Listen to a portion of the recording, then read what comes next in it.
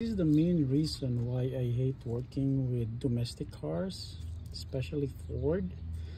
I have Ford cars before that I worked on and there are things that are simpler to fix but there are also some stupid things like simple things that basically will eat much of your time for mechanics or even for uh, DIY people so for example take for example this uh, thermostat.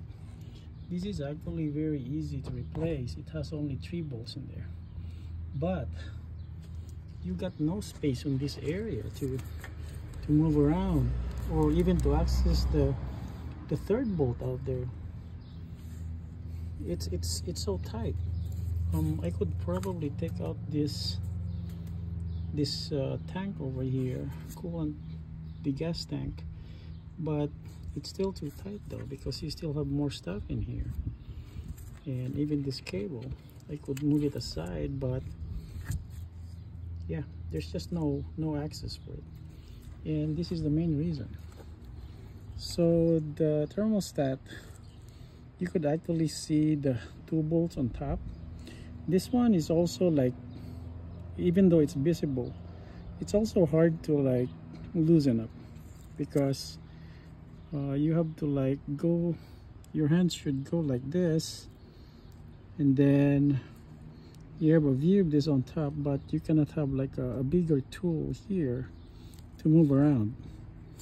Worst thing is this lower oh no. Uh, this is how the way it's oriented. Yep. So yeah this this hose basically blocks this one. It's visible on top though but you could only access it from the side this side. So you're gonna have a socket. Yep an extension this way to loosen this one. And then the worst part is this one the lower one which is not visible at all. You cannot see it. You have to loosen it by feel if you want to access it you have to remove the intake manifold. And removing the intake manifold on this Ford Escape is no easy task. Lots of stuff to remove including the radiator and the cooling fan. Yep that's why I hate working with Ford